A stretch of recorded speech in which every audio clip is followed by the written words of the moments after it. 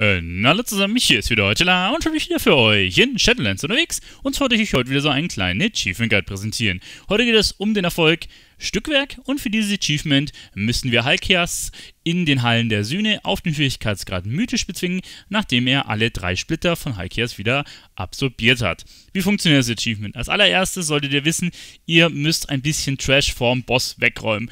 Und zwar solltet ihr eigentlich die kompletten Laufwege freiräumen, heißt auch verschiedenste Putts mitnehmen, dass ihr schön Platz habt, denn ihr müsst den Boss dann einmal pullen und durch die halbe Instanz ziehen, also zumindest durch die halbe Instanz vor dem ersten Boss müsst ihr ihn rumkiten und dann wäre es super optimal, wenn ihr den ein oder anderen Trash-Mob dabei habt. Ihr könnt übrigens die meisten Leute auch von der Gruppe aufgemountet lassen und dementsprechend einfach nur die Tanks und den Heiler abgemountet. Der Rest braucht eigentlich jetzt nicht großartig hier äh, drauf DPSen, denn es dauert relativ lang, bis er an den ganzen Spots dran ist. Wo sind diese drei Spots? Und zwar haben wir ja in der Instanz drei große Ads und diese großen Ads, ähm, wenn die gekillt werden, hauen die immer ihre Energie auf den Boss mit drauf und dann kann man, glaube ich, den Boss erst angreifen. Und in die Position, wo diese Ads standen, müsst ihr dementsprechend den Boss hinziehen. Ihr habt gesehen, zwei haben wir gerade schon abgeklappert.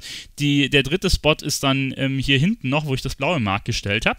Und an diesen drei Spots muss der Boss einmal kurz stehen. Wenn er dort steht, macht er so eine kleine Animation. Das ist so ein, so ein rotes Anima-Einsaugen. Das sieht man relativ schlecht.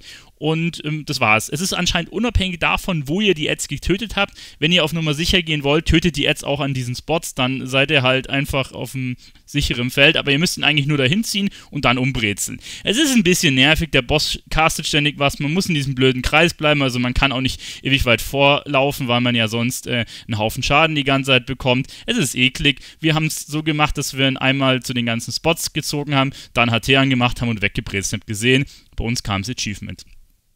Gut, das war's soweit mit dem kleinen Achievement Guide. Ich hoffe, dem einen oder anderen konnte ich ein bisschen weiterhelfen. Sollte es der Fall sein, würde ich mich freuen, wenn ihr mich positiv bewertet. Euer Tila, bis zum nächsten Mal. Äh, ciao.